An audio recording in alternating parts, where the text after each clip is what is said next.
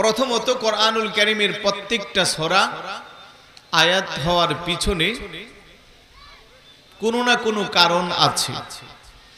আর কোন ছোড়া নাজিল হয়েছে মক্কা শরীফে, যেগুলোকে আমরা বলি মক্কি ছোড়া কোন ছোড়া নাজিল হয়েছে মদিনা শরীফে, যেগুলোকে আমরা বলি মাদানি ছোড়া সোরা দোহা নাজিল হয়েছে মক্কাতুল মোকাররমায়। একটু মনোযোগ দিবেন দিবেন। ধারাবাহিকতায় এই সোরাটা কোরআনুল করিমের তিরিশ নম্বর পাড়ার মধ্যে অবস্থিত। কোরআনের পাড়া কয়টা? তিরিশটা। বলেন কয়টা?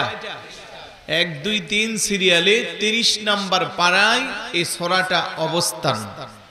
দুই নম্বর হলো একশো চোদ্দটা সোরার মধ্যে এই সোরাটার ধারাবাহিকতায় গণনার দিক দিয়ে তিরানব্বই নাম্বার। তৃতীয় নাম্বার এই সোরার মধ্যে আয়াত সংখ্যা হলো এগারোটা। বলেন কয়টা? এগারোটা। এবং প্রত্যেকটা সোরার মধ্যে শব্দবিন্যাস থাকে। শব্দবিন্যাসের ধারাবাহিকতায় চতুর্থত এই সোরার মধ্যে শব্দ আছে চল্লিশটা। পঞ্চমত এই সোরার মধ্যে অক্ষর আছে একশত দুইটা তুলনামূলক সোরাটা তত বড় না, একেবারেই ছোট। যদিও তিরানব্বই নাম্বার সিকুয়েন্সিতে কিন্তু অধিকাংশ মুফাসসিরগণ বলছেন যে নাজিলের দিক দিয়ে সোরাটার অবস্থান এগারোতম। বড় করে বলি সোবাহান আয়াতও আছে তার মধ্যে এগারোটা। নাজিলের দিক দিয়া যেমন প্রথম সোরা আলাকের পাঁচটি আয়াত নাজিল হয়েছে, যা আমরা সবাই জানি। ইকরা বিসমি রব্বিকাল্লাযী খালাক। তো এইভাবে এগারোতম সোরা হিসেবে এই সোরাটা নাজিল হয়েছে। নাজিল হওয়ার পিছনের সানে নজর হলো রসুলে পাক সাল্লাল্লাহু আলাইহি ওয়াসাল্লামের উপরে যখন আল্লাহ তাআলা ওহি নাজিল করা শুরু করে দিল, একটার পর একটা আল্লাহর বাণীটুকুন, আল্লাহর পেয়ারা হাবিব মানুষের মাঝে যখন এগুলো জানিয়ে দিচ্ছেন, আহ্বান করছেন, যাকে যাকে মক্কার কাফের মুশরিকরা দীর্ঘদিন যাবৎ যারা পত্তলিকতার বিশ্বাসী ছিল, কেউ চন্দ্রের পূজা, কেউ সূর্যের পূজা, কেউ নিজের দেবদেবী মূর্তির পূজা এই সবটুকুন ছেড়ে দিয়ে রাসুলে পাকের কালেমার দাওয়াত গ্রহণ করে সবাই যখন এক আল্লাহর কদমে সিজদা দেওয়ার জন্য ইসলামের সুশীতল ছায়ার নিচে আশ্রয় নিতে লাগল কাপের মুশরিক, বেঈমান যারা তাদের শরীরে এখন আগুন ধরতে লাগছে। বড় করে বলি সুবহান আল্লাহ তাআলা রাসূল পাক সাল্লাল্লাহু আলাইহি ওয়াসাল্লামের প্রতি একের পর এক যখন ওহী নাজিল করতে শুরু করে দিল মাসকানে কয়েকদিন ওহী নাজিল বন্ধ ছিল। ওহি মানে আল্লাহর কোরআনগুলো একের পর এক জিবরাইল আলাইহিস সালাতু সালামের মাধ্যমে আল্লাহর প্রিয় হাবিবের কাছে আসে। কয়েকদিন যখন ওহি বন্ধ, রাসূলুল্লাহ নিজের নিঃস্বত জবান মুবারক থেকে মন গড়া কিছুই বলতে পারেন না। মক্কার কাফের মুশরিকরা তখন আলোচনা, সমালোচনা শুরু করে দিল। যে এতদিন পর্যন্ত মোহাম্মদ সাল্লাল্লাহু আলাইহি সাল্লামার প্রভু ওনার উপরে সন্তুষ্টি ছিল আর ওনাকে আল্লাহর পক্ষ থেকে একটা একটা বাণী শোনাইতো বোধ হয় মোহাম্মদের প্রভু এখন ওনাকে ভুলে গেছে, আরও বাজে বাজে মন্তব্য করেছে। শুধু তাই না অনেকে এমনও বলেছে যে শয়তানটা এসে মোহাম্মদকে দুঃখা দিত। ওই শয়তানটা এখন আর ওনার কাছে আসে না। বড় করে বলি না এইভাবে তারা বাজে মন্তব্য শুরু করল। তখন রাসুলে পাক সাল্লাহ আলহিসাল্লামের মনটা স্বাভাবিকভাবেই একটু ক্ষুণ্ণ হলো। আপনার সামনে যখন মানুষ আপনার ব্যাপারে বাজে মন্তব্য করবে নেগেটিভ সমালোচনা আলোচনা করবে, আপনার ভালো লাগবে না খারাপ লাগবে? স্বাভাবিক কারণেই আপনার খারাপ লাগবে। আল্লাহ নবী দুজাহানের বাদশাহ নবী, চিন্তায় পড়ে গেল টেনশন যুক্ত অবস্থায়, কারণ নিজে তো আর মন গড়া মতো কিছু বলতে পারে না। একের পরে এসে বলে, আপনার প্রভু কি আপনাকে কিছু জানাই না? রসুল পাক সাল্লাল্লাহু আলাইহি ওয়াসাল্লাম চুপ করে আছে। কারণ আল্লাহ নবী নিজের মন গড়া একটা কথাও বলেন না, আল্লাহ বলেন হাওয়া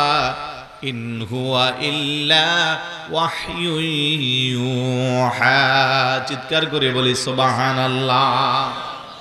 রাসূলুল্লাহর গোটা জিন্দেগিতে একটা কথাও নিজের মন গড়া বলেন নাই, সবটুকুন কথা বলিয়েছেন কে? আরেকটু জোরে বলুন কে? যখনই যার প্রয়োজন হয়েছে, আল্লাহ তাআলার কাছ থেকে এসেছে।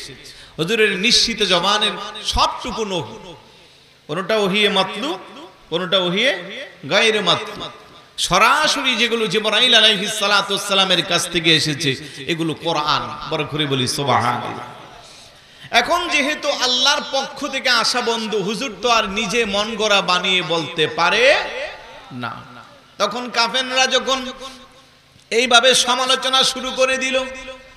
রসুল্লাহর মনে যখন ক্ষুণ্ণ হলো, আল্লাহ সুবাহান তখনই জিবরাইল পাঠাইলো, জিবরাইল, যাও যাও, আমার হাবিবুল্লাহকে জানিয়ে দাও আমি হাবিবুল্লাহর প্রতিও সন্তুষ্ট না আমি হাবিবুল্লাহর প্রতি রাগ করি নাই কারণে অকারণে কিছুদিন ওহিটা বন্ধ ছিল এই কারণে আমার হাবিব যেন পেরেশান না হয় অমনেতি আল্লাহ আয়াত নাজিল করে দিল সবাই বলেন বিসমিল্লাহির রহমানির রহিম والضحى والليل إذا سجى سبحان الله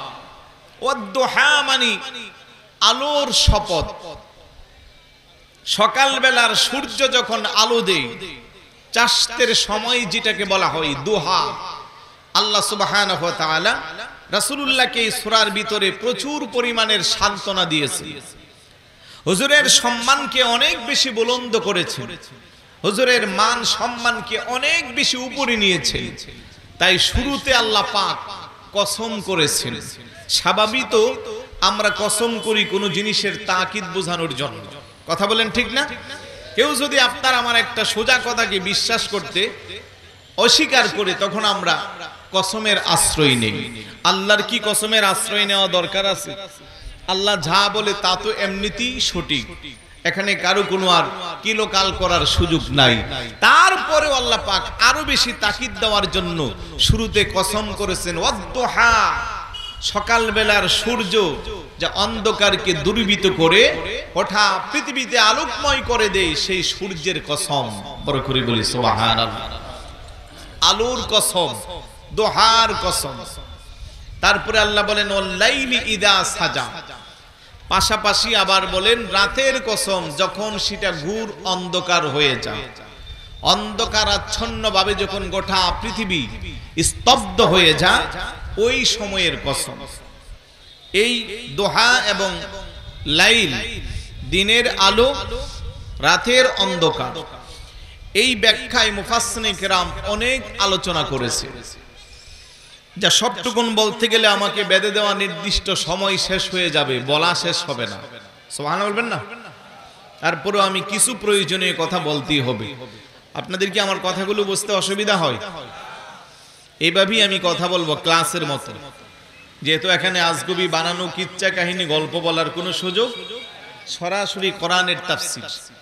একটু মনোযোগ দিলে আশা করি ভালো লাগবে। তবে ডেকোরেটর যারা আছেন, আমি আপনাদেরকে বলব, আলোকসজ্জা আর একটু বৃদ্ধি করে সামনের লাইট অর্ধেক জ্বলে অর্ধেক জ্বলে না।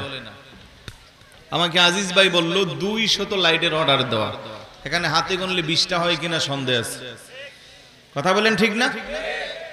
আপনাদেরকে অনুরোধ করব, যতটুকু আপনাদের ক্যাপাসিটি আছে, সবটুকুন লাইটে আলো দেওয়ার চেষ্টা করেন। পাশাপাশি সৌন্দর্য বৃদ্ধি করেন। মঞ্চ অলরেডি অন্ধকার। তাই সবাই একটু অন্ধকারের মধ্যে মানুষের ঘুম আসাটাই স্বাভাবিক। কথা বলেন ঠিক না? আমরা আবার আলোচনাও করতেছি, এখন অলরেডি অল্লাইলি ইজা সাজা। রাত্র যখন ঘুর অন্ধকার হয়ে যায়, আমরাও তার মধ্যেই পড়ে গেলাম। তাই আপনাদেরকে একটু আমাকে সহযোগিতা করতে হবে সচেতন অবস্থানে একটু আওয়াজ দিতে হবে একটু দূর শরীফ পরে আল্লাহ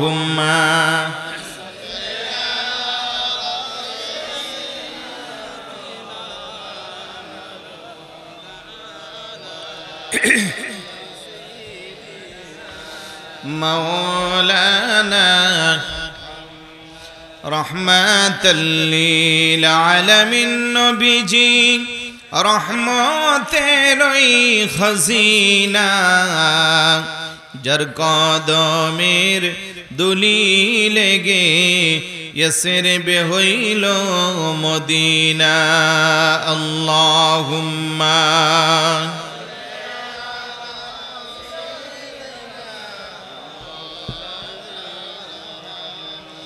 وعلى آل سيدنا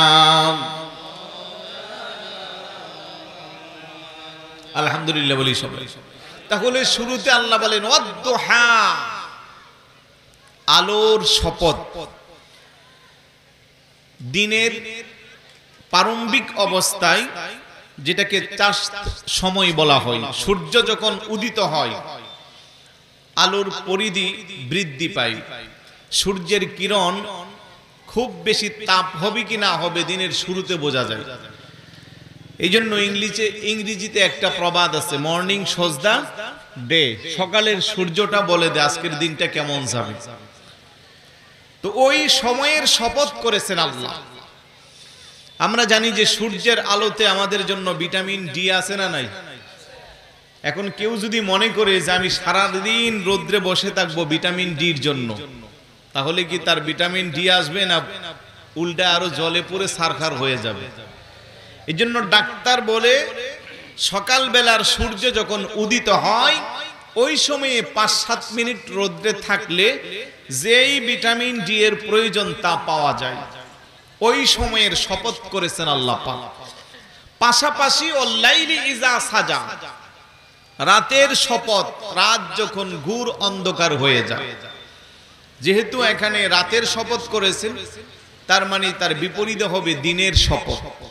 আবার শুরুতে যেহেতু দিনের শপথ করেছেন, তার বিপরীতে হবে রাতের শপথ, কারণ একটার আরেকটা বিপরীত।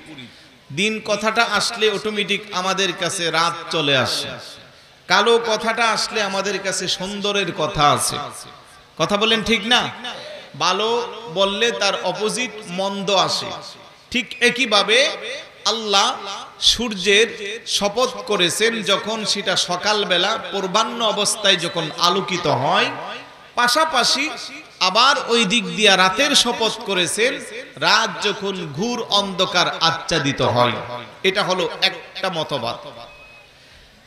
আরেক প্রকার মুফাসসির বলেছেন, দিনের শপথ বলতে এখানে আল্লাহ সুবহানাহু ওয়া তাআলা আল্লাহর প্রিয় হাবিবের নৌরানি চেহারা মোবারকের শপথ করেছেন। বড় করে বলি রাতের শপথ বলতে আল্লাহ পাক হুজুরের জুলফি মোবারক, যেগুলোকে চুল বলা হয়।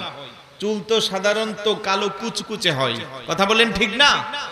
রাতের শপথ বলতে আল্লাহ পাক পেয়ারা রসুলের চুল মুবারকের শপথ করেছে সুবহানাল্লাহ কি বলা যাবে না? এখন একটা প্রশ্ন জাগে না যে দিনের সূর্যের শপথ করেছেন, পাশাপাশি আবার হুজুরের চেহারা মুবারকের শপথ করেছেন।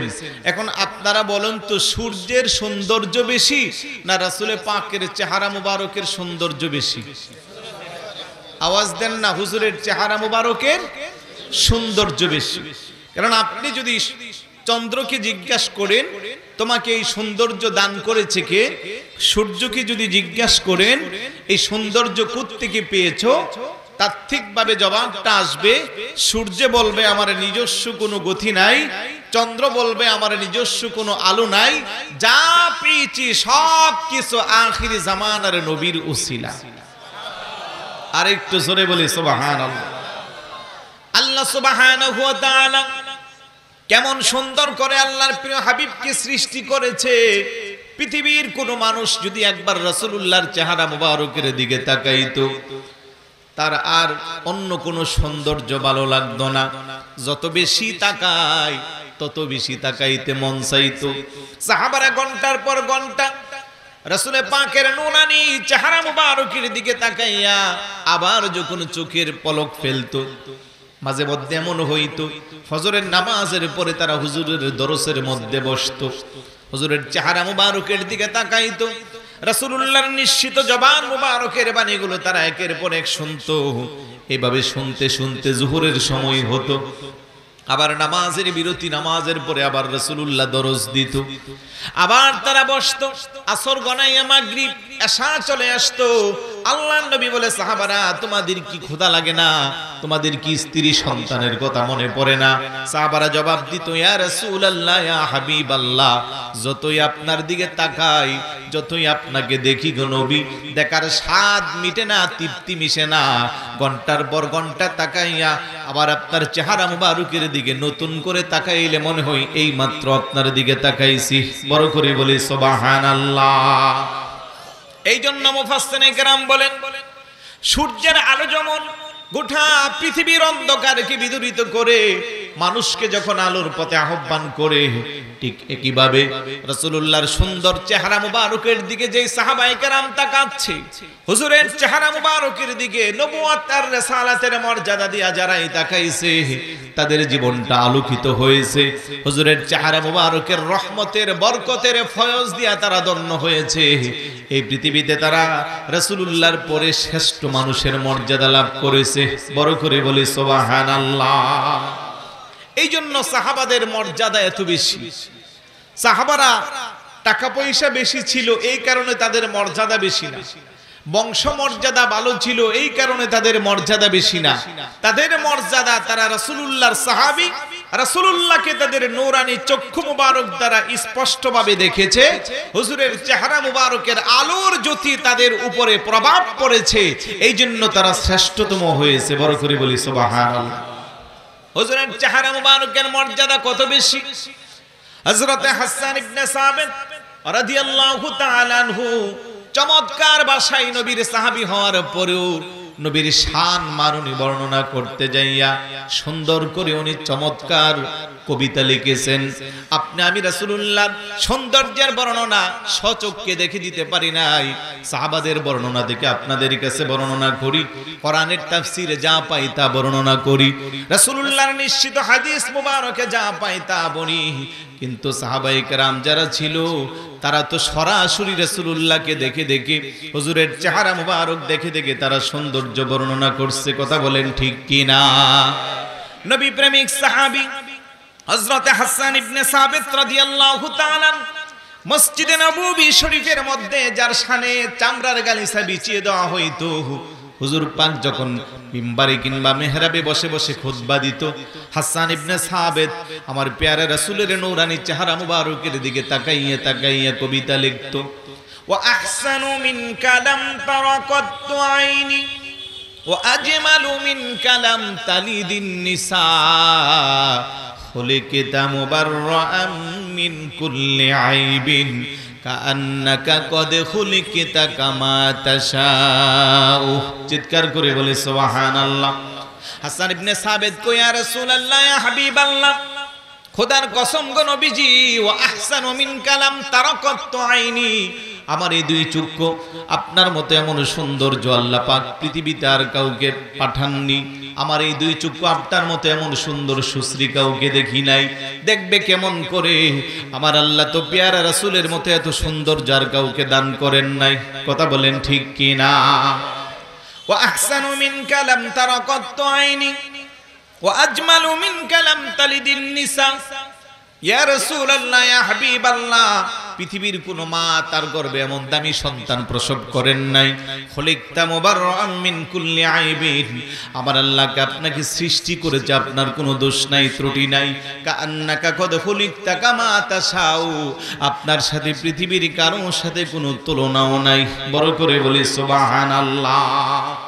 কেমন সৌন্দর্য আল্লাহ পাক, রাসূলের পাককে দান করেছেন। আল্লাহ নবীকে জিজ্ঞেস করা হলো, ইয়া রাসূল আল্লাহ এই পৃথিবীতে আল্লাহ পাক সবচেয়ে সৌন্দর্য কাকে দান করেছে? রাসূলে পাক বলেন, হযরতে ইউসুফ আলাইহি সালাম সাহাবারা একটু করে মন ক্ষুণ্ণ হলো, কারণ ওদের ধারণা ছিল যে রাসূলে পাক নিজের কথা বলবেন। কিছুক্ষণ পরে আল্লাহ নবী বলেন, আনা মালাইহুন ওয়া আখি ইউসুফ সবিহুন। চিৎকার করে বলি, সুবহানাল্লাহ। যে আল্লাহ পাক আমাকে যেই সৌন্দর্য দান করেছে, এটা হলো লাবণ্যময় সৌন্দর্য। আর আমার ভাই ইউসুফ আলাইহিস সালাতুসাল্লামকে যে সৌন্দর্য দিয়েছে, এটা হলো সাদা ফকফকা। এই জন্য মিশরের মানুষ এখনও দেখবেন সাদা ফকফকা।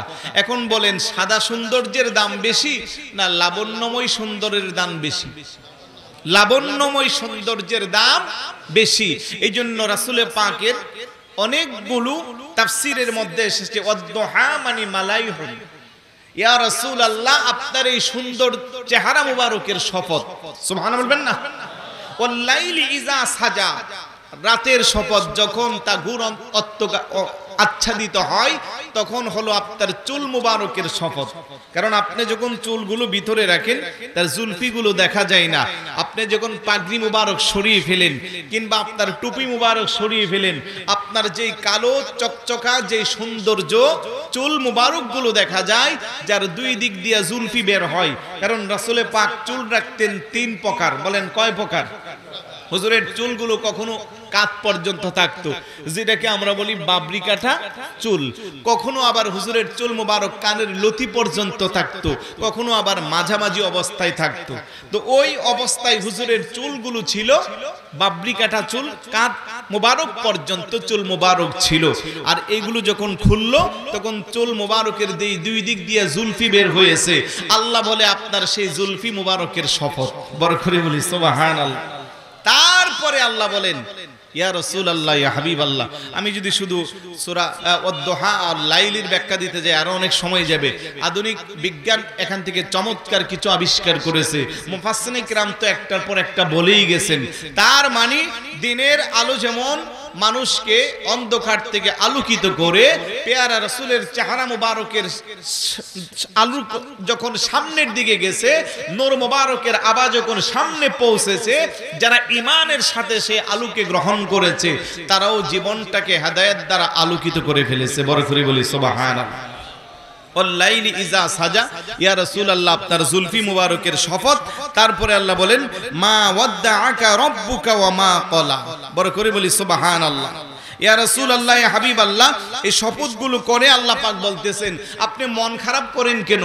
আপনার টেনশনের কোনো কারণ নাই, আপনার চিন্তার কোনো কারণ নাই, আপনার উপরে কয়েকদিন বন্ধ ছিল, এই কারণে বাজে মন্তব্য করছে, এই কারণে আপনি মন খারাপ করবেন? খবরদার, মা ওয়াদ্দা কলা আপনার প্রতিপালক, আপনার প্রভু আপনাকে পরিত্যাগ করেন নাই অমা কলা এবং আপনাকে বিরূপ হননি, আপনার প্রতি রাগও করেন নাই। বড় করে বলি সোহান কে সান্ত্বনা দিচ্ছে? আরেকটু জোরে বলুন। আপনার আমার জীবনে দুঃখ, দুর্দশা, কষ্ট, ক্লেশ আছে না নাই? দেখবেন আশেপাশের বন্ধু বান্ধব এসে সান্ত্বনা দে বড়জনরা এসে ছোটদেরকে সান্ত্বনা দে অনেক সময় ছোটরা বড়দেরকে সান্ত্বনা দে যে, মন খারাপ করিয়েন না। তো কি হয়েছে ব্যবসা একবার মাইর গেছে, আল্লাহ পাক চাইলে আপনাকে আরও বেশি দিতে পারে। সন্তান আর আপনার একটা চলে গেছে। আল্লাহ এইভাবে মানে মানুষের যখন দুঃখ আসবে তখন আপনাকে স্বাভাবিক নিয়মে সান্ত্বনা দেওয়া হয়। আর রাসুলুল্লাহকে যিনি সান্ত্বনা দিচ্ছেন উনি কে? জোরে বলুন। আল্লাহ রে আল্লাহ বলে ডাক দিবেন এত ছোট করে। একটু জোরে বলুন না কে? আপনার আমার দুঃখ দুর্দশা মুছতে পারে কি? রিজিকের মালিক কে? হায়াতের মালিক কে? সম্মানের মালিক কে? এই বিশাল বড় আসমানটারে খুঁটি ছাড়া লটকে রাখছে কি? সে আল্লাহ রাসূলুল্লাহকে বলেন, মা ওয়াদ্দা আকা রব্বুকা। আপনার প্রতিপালক আপনাকে ত্যাগ করেননি। অমা কলা, আপনাকে ছেড়েও দেননি। আপনার প্রতি বিরূপ হন নাই। অর্থাৎ, ইয়া রসুল রাসূলুল্লাহ, ইয়া হাবিবাল্লাহ, আপনার চেহারা মুবারকের কসম, আপনার জুলফি মুবারকের কসম, আপনি বিশ্বাস করেন, আমি আপনাকে ত্যাগ করি না। আপনার প্রতি আমি কোনো নারাজ হই নাই। বড় করে বলি, সুবহানাল্লাহ। এর চেয়ে সান্ত্বনার বাণী আর কি হতে পারে? হাদিস শরীফের মধ্যে আসছে আসাদুন্নাস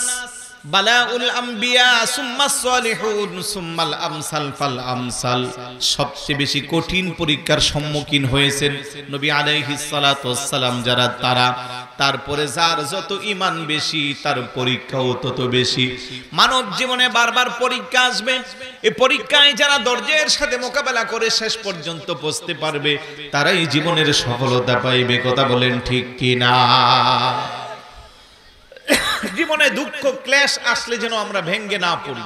সেই শিক্ষা আল্লাহ পাক আল্লাহর প্রিয় হাবিবকে সান্ত্বনা দিয়েছেন। হুজুর, আপনি মন খারাপ করিয়েন না।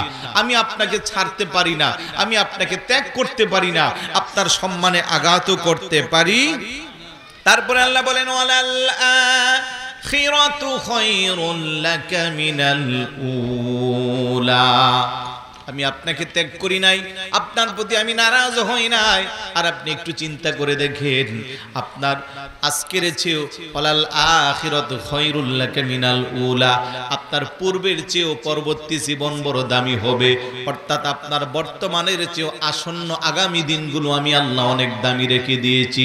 সোবাহান আল্লাহ কারণ রাসূলুল্লাহর যত দিন গেছে, আগের দিনের চেয়ে পরের দিনের সুখের মাত্রা বেশি না কম। আর একটু জোরে বলুন, কম না বেশি? বেশি। কে দিয়েছে? আল্লাহ নিজে এই জন্য সার্টিফাই করেছে। আপনি কেন দুঃখ পাচ্ছেন? আপনি যখন পৃথিবীতে এসেছিলেন, আপনার প্রতি যেইভাবে তারা কাফের মুশরিকরা নবুয়ত প্রকাশের পরে যেই অত্যাচারের স্টিম রোলার চালু করে দিয়েছিল, আপনি এগুলো ঘাত, প্রতিঘাত একটার পর একটা সহ্য করেছেন। আপনার মর্যাদা বাড়ছে না কমছে? বাড়ছে। মক্কাই জীবনে কাফেররা আপনাকে অনেক কষ্ট দিয়েছে। মাধানি জীবনে আপনার সুখ শান্তি একটু বৃদ্ধি পাচ্ছে। এই দুনিয়াতে আপনাকে আমি যতটুকু সম্মান না দিয়েছি, পরকালে আপনার সম্মানের জন্য আমি আরও বেশি রেখে দিয়েছি। সুবহান বলবেন না? হাসরের ময়দান যখন কায়েম হয়ে যাবে, আদম আলাইহিস সালাম থেকে শুরু করে ঈসা রুহুল্লাহ আলাইহিস সালাম পর্যন্ত সবাই যখন পেরেশান হয়ে যাবে, যার যার চিন্তা যখন তারা ব্যস্ত হবে, আল্লাহ সুবহানাহু ওয়া তাআলা লেওয়ায়ে হামদের হাবিবুল্লাহর হাত মুবারকের মধ্যে উঠায়া দিবে। আরশের মহান সিংহাসনে বসাবে।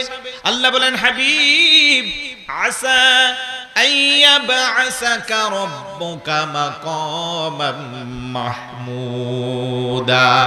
আপনি পেরেশান হবেন না আপনি চিন্তিত হবেন না। আজকের এই দিনে আদম নবী থেকে শুরু করে ঈসা রুহুল্লাহ আলাইহিস সালাতু সালাম পর্যন্ত কারও কোনো বাহাদুরি চলবে না কারও কোনো সুপারিশ চলবে না কারও কোনো মর্যাদা আমি আল্লাহ এত বেশি বাড়াচ্ছি না যতটুকু না আমি আপনাকে দান করেছি।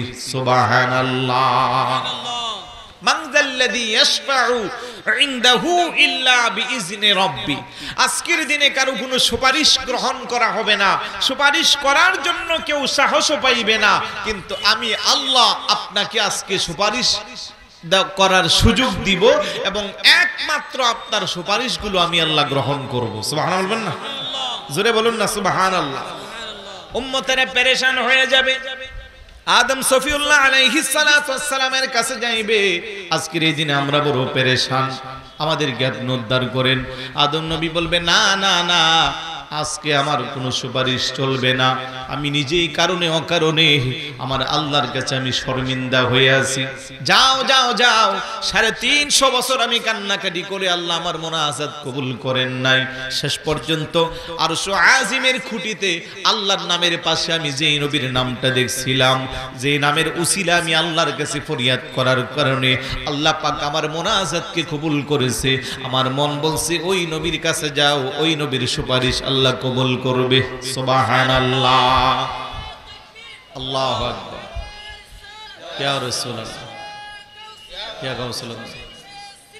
জিন্দাবাদ। তারপরে ইব্রাহিম খলিলুল্লাহ কাছে যাবেন ইব্রাহিম নবী বলবে, না না না, আজকের দিনে কোনো আমার সুপারিশ চলবে না। যদিও আমি খলিলুল্লাহ, আল্লাহর বন্ধু, কিন্তু হাবিবুল্লাহ, আল্লাহর বন্ধু, দুই বন্ধুর মধ্যে পার্থক্য আছে না নাই? আর একটু জোরে বলুন। আল্লাহর হাবিব, হাবিবুল্লাহ, ইব্রাহিম, খলিলুল্লাহ, দুইজনেই আল্লাহর বন্ধু। খলিলুল্লাহ হলো ওই বন্ধু, যেই বন্ধু সদাই সর্বদা আল্লাহকে খুশিয়ার রাজি করার জন্য চেষ্টা করে।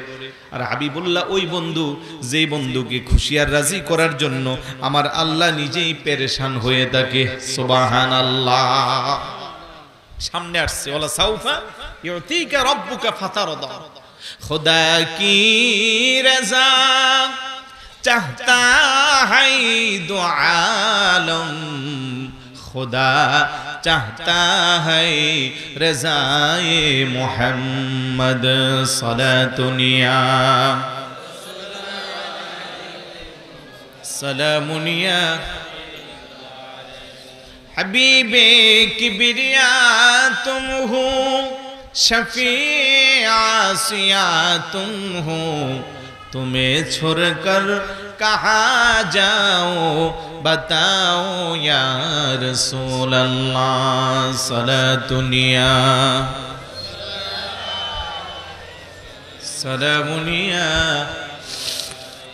আমার ভাইয়েরা, বাবারা, পৃথিবীর যা কিছু আছে, আঠারো হাজার মাকলুকাত সবাই চেষ্টা করে আল্লাহকে খুশি করার জন্য আর আল্লাহ সুবাহ নিজেই সব সময় চেষ্টা করে আল্লাহর হাবিবের মন রক্ষার জন্য।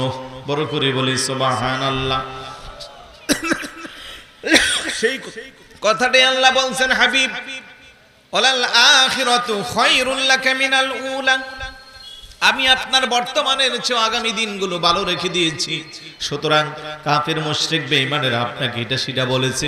আপনি মনে কষ্ট নেবেন না, আপনি তাকাইয়া দেখেন, মক্কার মানুষরা আপনাকে অনেক কষ্ট দিয়েছে, যে মক্কাকে আপনি অনেক বেশি ভালোবাসতেন, কিন্তু তাদের কষ্টের তাড়না আপনি সহ্য করতে পারলেন না।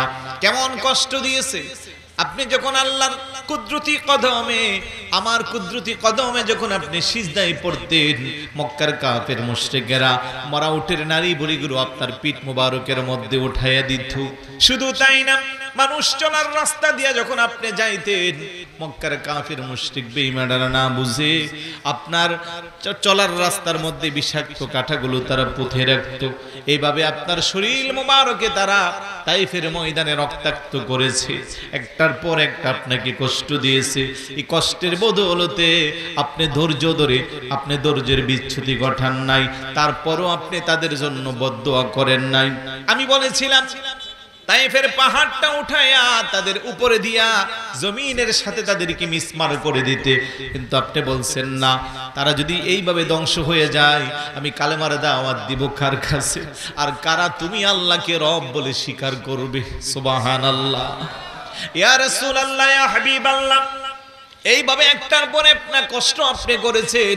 যেই মাত্র আমি আল্লাহর হুকুমে মক্কা ছেড়ে আপনি মদিনাতুল মোনাব্বরার দিকে রোয়ানা দিয়েছেন। মদিনায় আসার পরে আপনার সোনালী যুগ শুরু হয়ে গেল।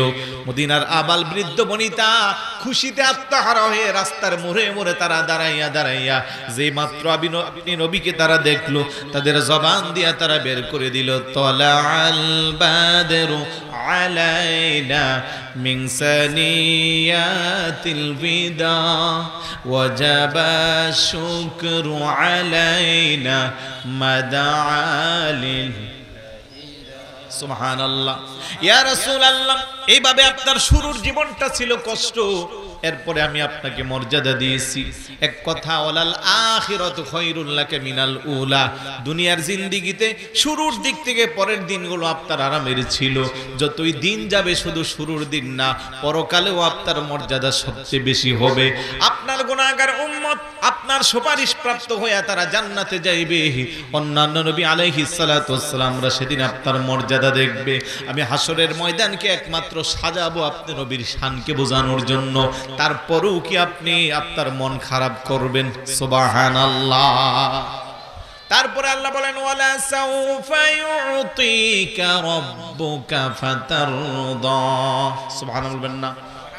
আপনি যখন যা চান, আমি আল্লাহ দিতে কোনো কুণ্ঠাবোধ করি না, আমি কোনো দ্বিধাবোধ করি না। অন্যান্য নবীরা আমার কাছে চায়, আমি তাদের চাওয়ার প্রতিদান সঙ্গে সঙ্গে দেই না। কিন্তু আপনি নবী, চাইতে হয় না, মুখ দিয়া বলতে হয় না, হাত উঠায়ও ফরিয়াদ করতে হয় না। আপনার মনের কল্পনা জল্পনা হইলেই পরে আমি আল্লাহ সেটা শরীয়তের ফাইসালা করে দেই। আলহামদুলিল্লাহ বলবেন না? খারাপ লাগতেছে? আওয়াজে বোঝা যায় ভালো লাগে না। কারণ আমাদের অবস্থা এমন হয়েছে, আমরা ভালো কিছু শুনতে গেলে আর মন চাই না। কিচ্ছা কাহিনী, আজগবি বেশি মজা লাগে আমাদের। কথা কোন ঠিক না? এইগুলো কোরআনের কিচ্ছা। গোটা কোরআনটাই তো কিচ্ছা। আলহামদুলিল্লাহ বলবেন না? আহসানাল কসাস বলা হয়েছে কোরআন। তো এই কোরআনের কিচ্ছা কিছু শুনেন, ভালো লাগবে আশা করছি। আগামীকালও আপনাদের বাসখালী আসব। কোথায় যেন?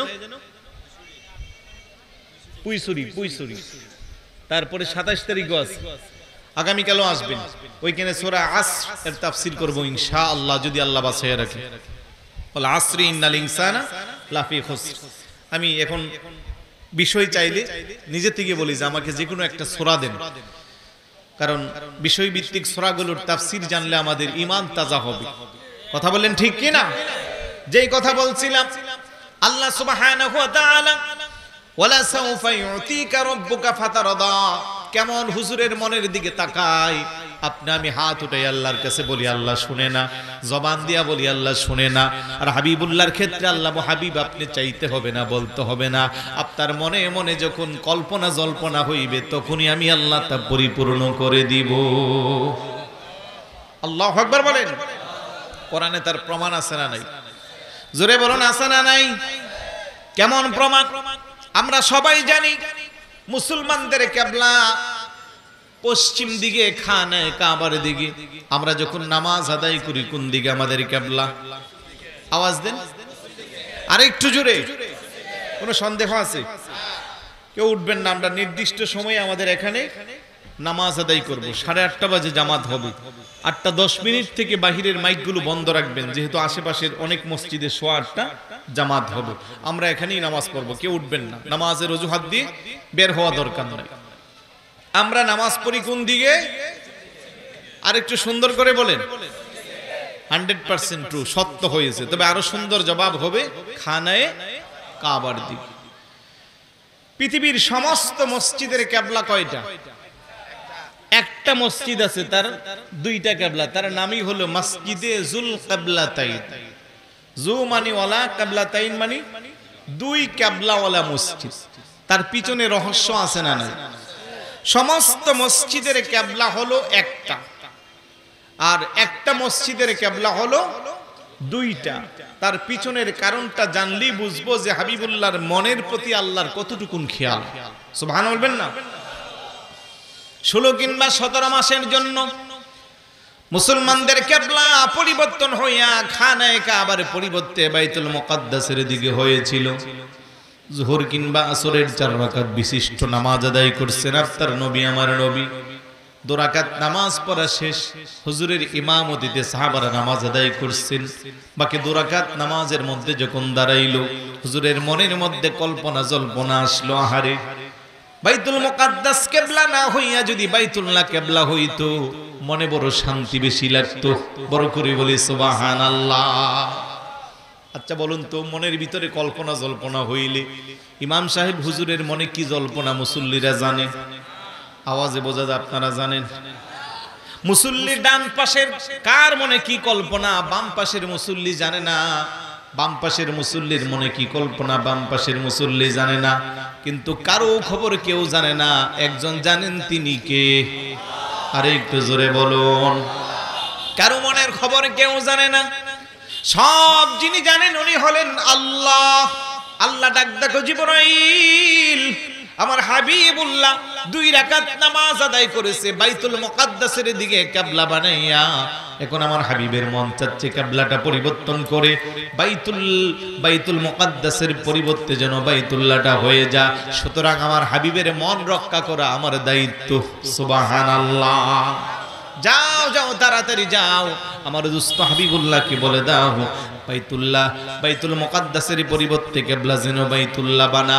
তৎক্ষণাৎ সঙ্গে সঙ্গে দুরাকাত নামাজ বাইতুল মুকাদ্দাসের দিকে কেবলা করে বলল আল্লাহর হুকুম পাইয়া সাহাবাদেরকে সহ আল্লাহর নবী আস্তে আস্তে বাইতুল্লাহর দিকে কেবলা করল। মসজিদের কেবলা ছিল একটা, এখন হইল দুইটা। চিৎকার করে বলে, সুবহানাল্লাহ। তাইলে হাত উঠাইতে হয়। রাসূলুল্লাহ কি হাত উঠে আল্লাহর কাছে বলতে হয়?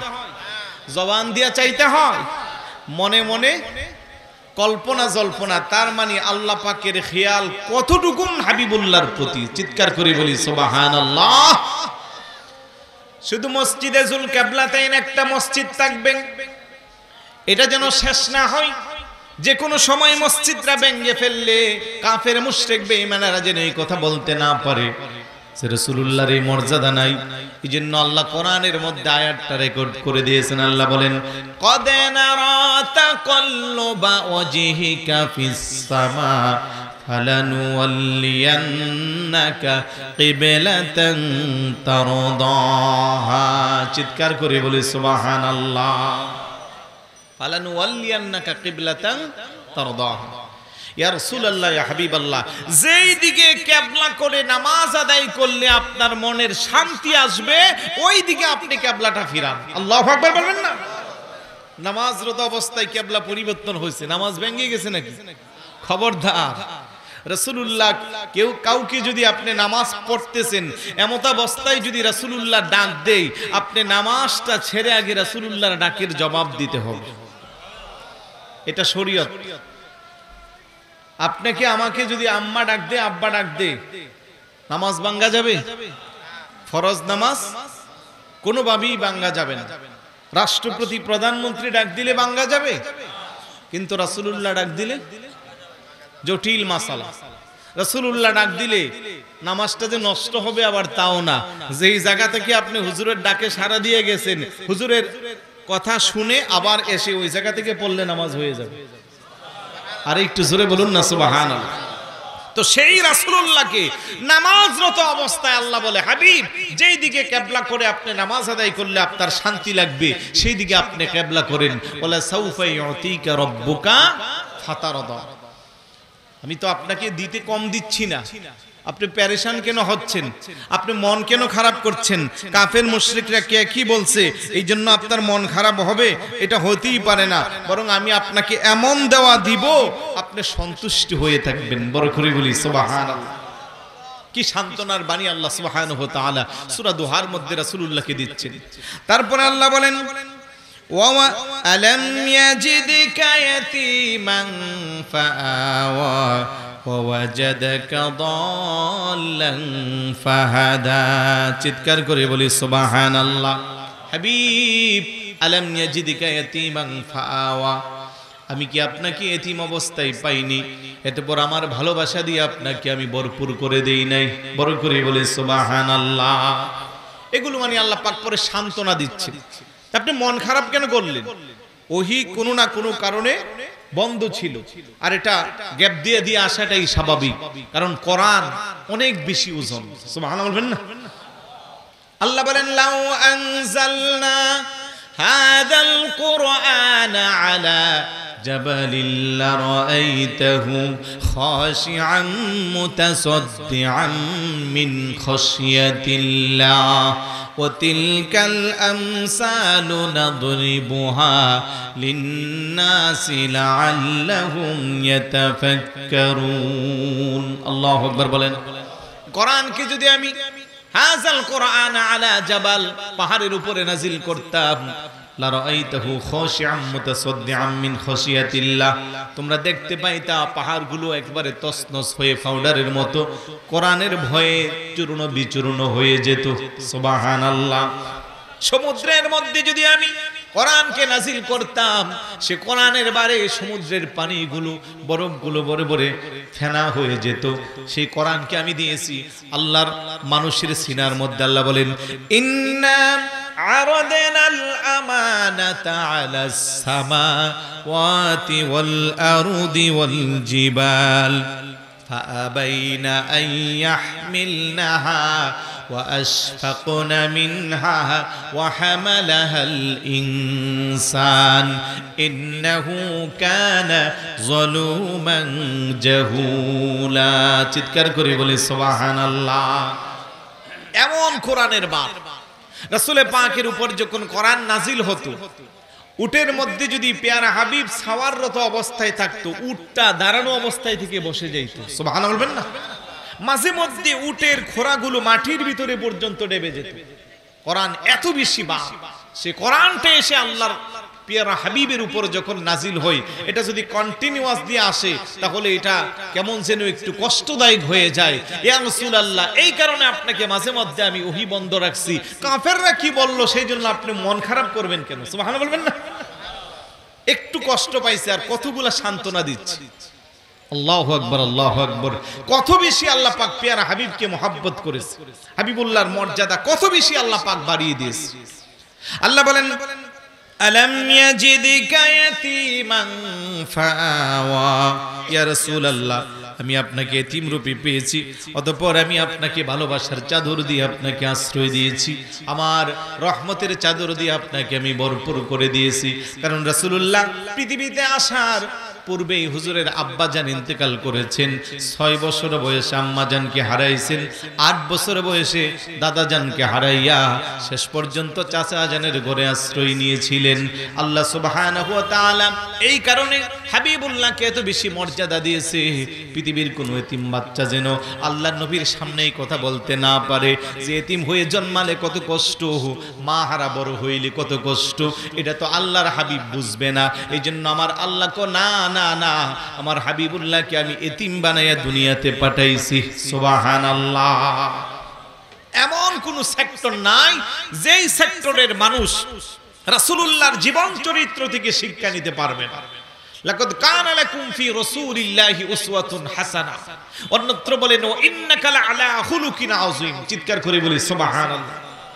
একজন রাষ্ট্রপতি সেও বলতে পারবে না যে রাষ্ট্র কীভাবে পরিচালনা করতে হয়, এটা তো রাসূলুল্লাহর জিন্দিগিতে নাই। এ কথা বলার কোনো সুযোগ নাই, কারণ রাসুলুল্লাহ রাষ্ট্রনায়ক ছিলেন। সুবহানাল্লাহ বলবেন না?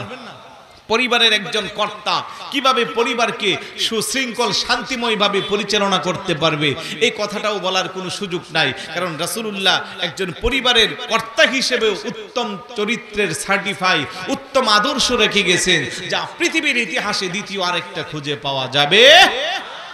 প্রত্যেকটা সেক্টরে আল্লাহ পাক সে মর্যাদা দিয়েছেন। তাই কোনো এথিম যেন এই কথা বলতে না পারে যে এথিমের কষ্ট তো আল্লাহ নবী বুঝবে না এই জন্য আল্লাহ পাক আল্লাহর হাবিবকে এথিমও বানায় দুনিয়াতে আনছেন।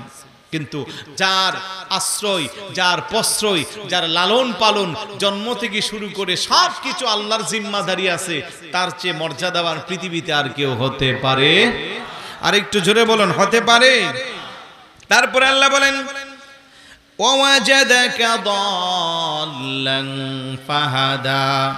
অতপর আমি আপনাকে আমার প্রেমে আত্মহারা পেয়েছি। বড় করে বলি সুবাহান আল্লাহ তারপরে আপনাকে আমি সুন্দরভাবে জীবন পরিচালনা করার রাস্তা বাতিয়ে দিয়েছি।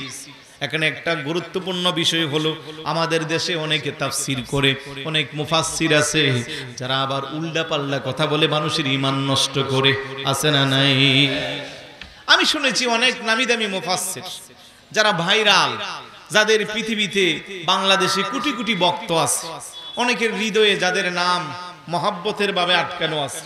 তারা বলে অজেদেকা দল্লাং ফাহাদা, হাবিব আপনাকে প্রদভ্রষ্ট পেয়েছি অত বড় হেদায়েত দান করছি। নাউজুবিল্লাহ বলবেন না?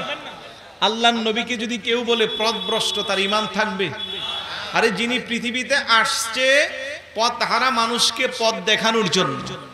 অন্ধকারাচ্ছন্ন মানুষকে আলুর পথে নেওয়ার জন্য, গোমরাহি থেকে মানুষকে হেদায়েতের জন্য যাকে আল্লাহ পাক পাঠাইছে, ওনার শানে কি এই কথা বলা যায়? তাহলে তারা কোরআনের দুই একটা শব্দ পড়ে মানুষকে ধোকা দেওয়ার চেষ্টা করে। দল্লান মানি এখানে প্রদভ্রষ্ট নয়, দল্লান মানি হলো প্রেমে আত্মহারা। বড় করে বলি, সুবহানাল্লাহ। সূরা ইউসুফের মধ্যে আছে না, কলু তাল্লাহি ইন্নাকা লাফি দলালিকাল কদিম। ইউসুফ আলাইহিস সালাতু সালামের ভাইরা যখন আসলো, ইয়াকুব আলাইহিস সালাতু সালাম যিনি পুত্র সুখে কান্না করতে করতে চুকের জ্যোতিষও হারাইয়া ফেলছে। বাইরে আসার পরে কো, আমার, তোমাদের কাছ থেকে আমি আমার ইউসুফের গ্রান পাচ্ছি। সুবহান বলবেন তারা বললে, তখন ওনার অন্যান্য যেই দশটা সন্তান ছিল, ওনারা বলতেছে, কলু তাল্লাহ। আল্লাহর কসম ইন্নাকালা দলালিকাল কদিম। আপনি আপনার পূর্বের প্রেমের আত্মহারা। আপনি ইউসুফকে বেশি ভালোবাসতেন। ইউসুফের প্রেমে আপনি আত্মহারা এই জন্য আপনার মন এই কথা বলতেছে। আসলে ইউসুফ তো এখন নাই, কিন্তু ইয়াকুব নবী তো আল্লাহর পয়গম্বর। সুবহান বলবেন না? তাহলে ওইখানে দলান ব্যাখ্যা কি আসলো? প্রেমে আত্মহারা। ইউসুফ আলাইহি সালাতামের প্রেমে, ওনার বাবা ইয়াকুব আলাইহি সালাতাম আত্মহারা প্রেমে। আর আমান নবীর ক্ষেত্রে ওনারা তাফসির করে নবী প্রদভ্রষ্ট ছিল।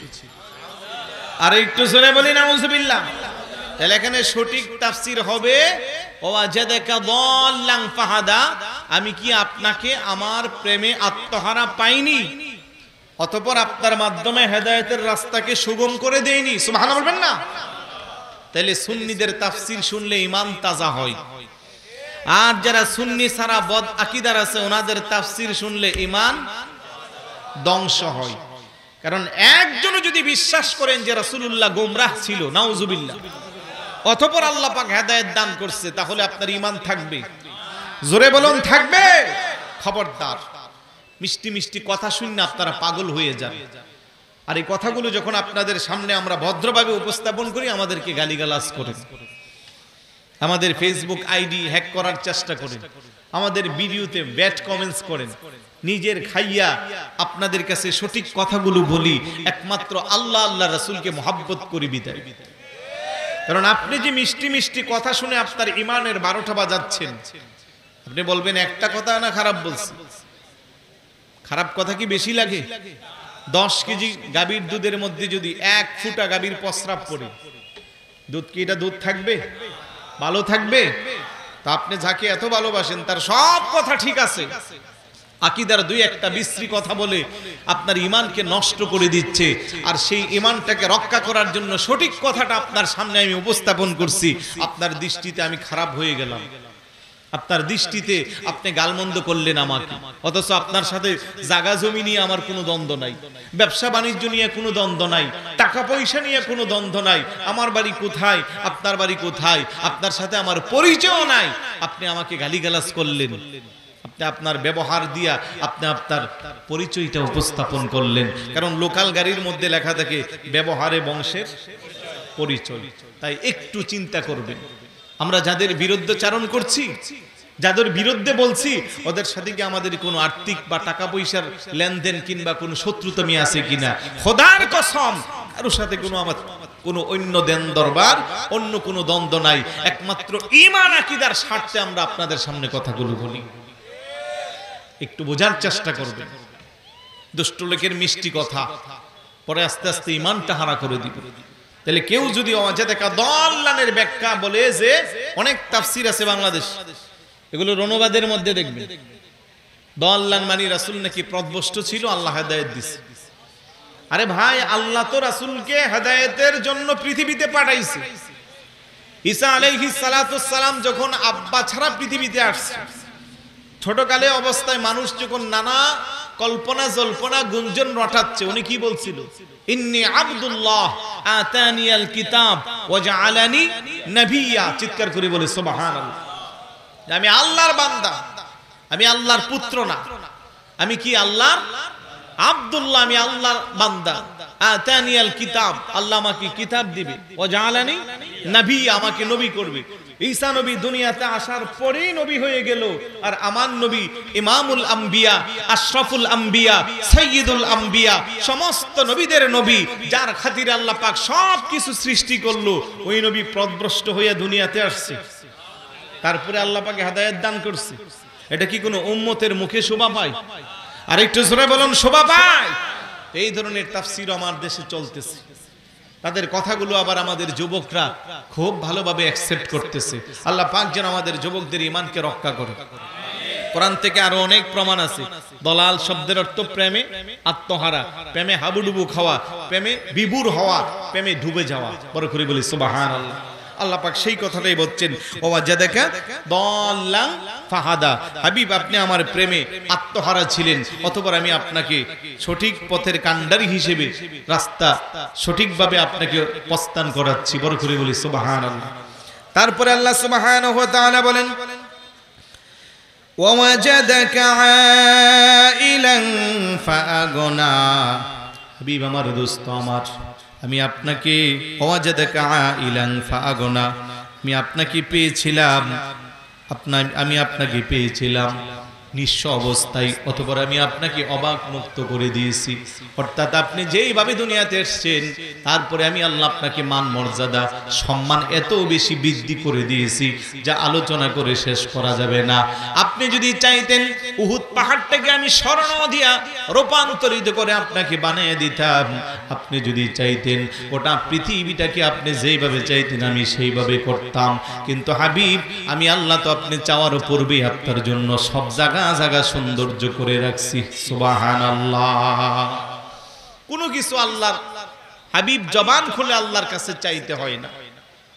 দুনিয়ারও বাদশাহ, আখেরাতেরও বাদশাহ। মেরাজ রজনীতে আল্লাহ পাক আল্লাহর সান্নিধ্যে নিয়ে হাবিবুল্লাহকে এটাই বুঝাইলেন। আপনি কেন মন খারাপ করবেন? আমি তো আপনাকে মসজিদে আকসার ভিতরে আদম নবী থেকে শুরু করে ঈসা রুহুল্লাহ পর্যন্ত সমস্ত নবী আলাইহি সালামদের ইমামতিতে আপনাকে ইমাম বানাইয়া নামাজ আদায়ের মাধ্যমে আমি এটাই প্রমাণ করলাম যে আপনি ইমামুল আম্বিয়া। বড় করে বলি। আর একটু জোরে বলি।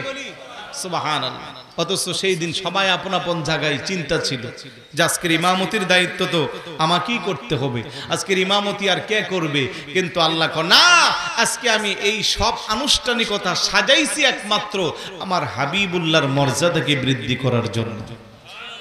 আর একটু জোরে বলি, সুবহানাল্লাহ। আপনার কিসের অভাব? আপনার কোনো অভাব নাই। আপনি নিজেকে ছোট ভাববেন না। আপনি নিজে মন খারাপ করবেন না। আপনাকে আমি সব কিছু দিয়ে ভরপুর করে দিয়েছি। দুনিয়ার যারা বাদশাহ হয়, নির্দিষ্ট সময়ের পরে তার রাজত্ব চলে যায়। কেউ পাঁচ বছর, দশ বছর, পঞ্চাশ বছর, কিন্তু আমি তো আপনাকে দুনিয়ারও বাদশাহ বানাইছি, আখেরাতেরও বাদশাহ বানাইছি। খারাপ লাগতেছে নাকি? একেবারেই শেষ পর্যায়ে এই জন্য আমি ব্যাখ্যা কমাইয়ে দিচ্ছি। কারণ শেষ পর্যন্ত নেওয়ার চেষ্টা চালাচ্ছি।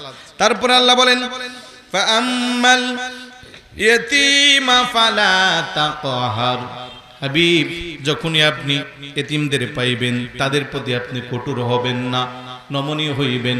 কারণ তাফসীরের মধ্যে আসছে যে পরিবারের মধ্যে একটা এতিম বাচ্চা থাকবে, যে মহল্লার মধ্যে একটা এতিম বাচ্চা থাকবে, যেই বাড়ির মধ্যে একটা এতিম বাচ্চা থাকবে এতিমের সাথে যদি সবাই ভালো ব্যবহার করে, মহাব্বত নিয়া ভালোবাসা স্নেহ দিয়া যদি তার মাথার মধ্যে হাতটা বোলায়া দেয় তার হাতের নিচে যতগুলো চুল থাকবে, আমার আল্লাহ তত পরিমাণের নেকি তার আমল নামাই দান করবে। করে করে বলে সুবাহান আল্লাহ এতিমদেরকে কখনো কষ্ট দেওয়া যাবে না। তাদের উপরে টর্চার করা যাবে না, অত্যাচার করা যাবে না।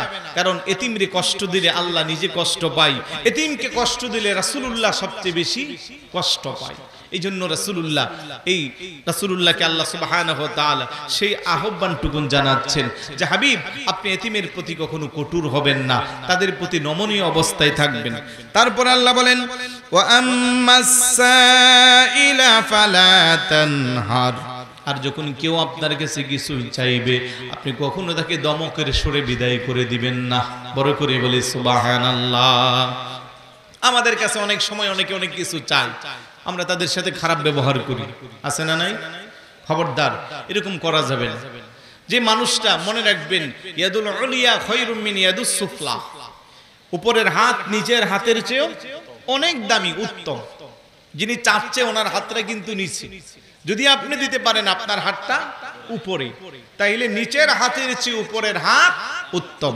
আপনি পারলে তাকে দিবেন, না পারলে ধমক দেওয়া যাবে না, দীক্ষার দেওয়া যাবে না, উচ্চ স্বরে কথা বলা যাবে না। সরাসরি আল্লাপাক কোরআনে নিষেধ করে দিয়েছেন। মাঝে মধ্যে আমরা দেখি এত বাজি ব্যবহার করে কিছু মানুষ। কেন ভাই?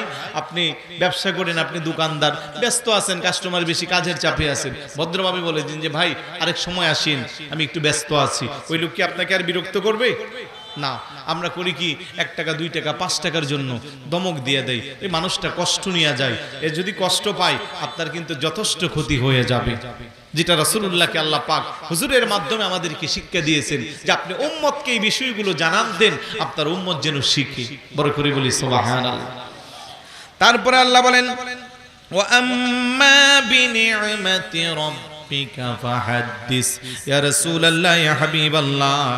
তার পালন কথার নিয়ামতের কথাগুলো আপনি প্রকাশ করেন, কারণ এত বেশি নিয়ামত আল্লাহ আপনাকে দান করেছে।